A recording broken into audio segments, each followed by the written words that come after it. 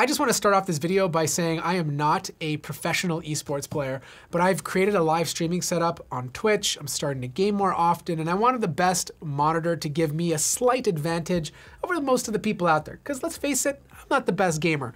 It was kind of interesting to find out that most of the professional esports players are not even using IPS panels. IPS panels I constantly recommend over TN panels because they usually have better color accuracy, better viewing angles, really low response time, and pretty good brightness. But esports players are sacrificing some of the color accuracy for a TN panel because they have the lowest response time. Now this monitor here from BenQ is the Zowie XL2746S.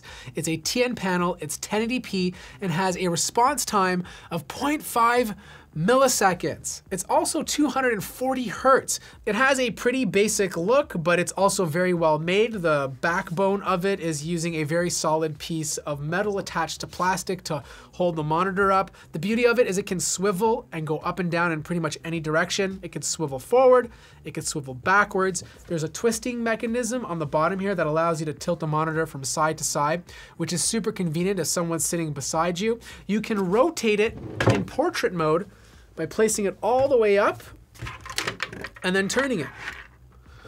It comes with this really neat puck that allows you to quickly change the settings. Now this puck has three different profiles for different color profiles that you want to use on your monitor. Maybe you have one for gaming, maybe you have one when you're just browsing the desktop, but it allows you to quickly change it. And there's also a input button that allows you to go back and forth between the inputs on the back of the monitor. This just saves you some time from having to reach behind here, which is really nice. Now, in terms of ports, you get a lot. Like you have HDMI 2.0, HDMI 1.4, you have a DVI port, which is kind of weird in 2020. You have a display port, and of course, you have an audio jack on the back if you want to hook up headphones. Now, you also get a USB hub on the right hand side, so you can hook up a couple of more peripherals to the left or right of the monitor. And then you have this cool little mechanism where you push into the monitor and comes out.